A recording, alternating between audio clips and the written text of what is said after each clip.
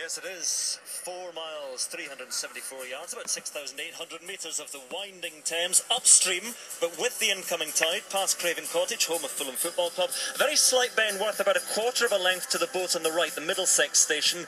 Then they go under Hammersmith Bridge, and the large bend now favouring the Surrey side.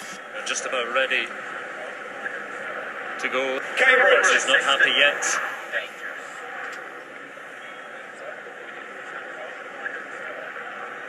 Cox is not happy yet. As soon as those arms go down, want to get this underway.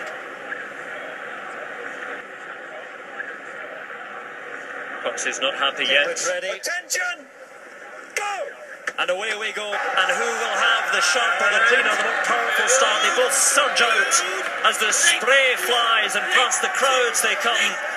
Already beginning to taken advantage. Yeah, ready out to a couple of seats. I don't think they were rating quite as high as Cambridge initially, but they've already taken a canvas or so. This is a strong start. And already we've seen this so and They start to creep together, and those blades may clash as both look for the fastest water.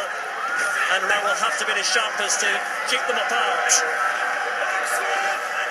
Yeah, very risky conditions there. There could have been a clash very early on. That was probably stressed out straight away. Again, those flash bulbs crackle through the, the murk above Cambridge. the River Thames today. And Cambridge with a little warning there from Cambridge. And Cambridge just trying to stay with all these early stages. They have to hang on. Cambridge hanging in now. I haven't seen take any additional distance there. You see Cambridge have actually pegged them back. They're dead level as they come past the boathouses here. Well, it's good work from Cambridge to respond to that early surge.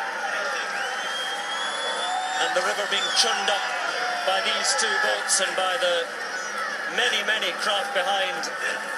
And the crowd willing them along, supporting either the light or the dark blues. And Matt Pinsent is down there watching. Yes, I'm. Uh, I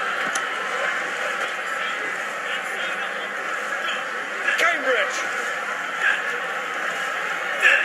He was there and he wasn't. We'll get another thought from Matt Pinsent in a moment. But really, the crews are just about level at the moment, Wayne.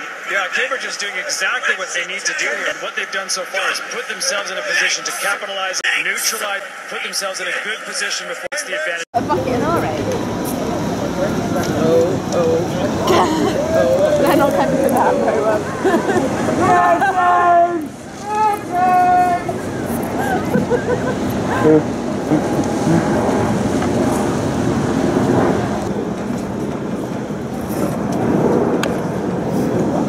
And go focus on the trees, focus on the boat. So kick it around now. Right here we have Imperial College Boathouse. Huh?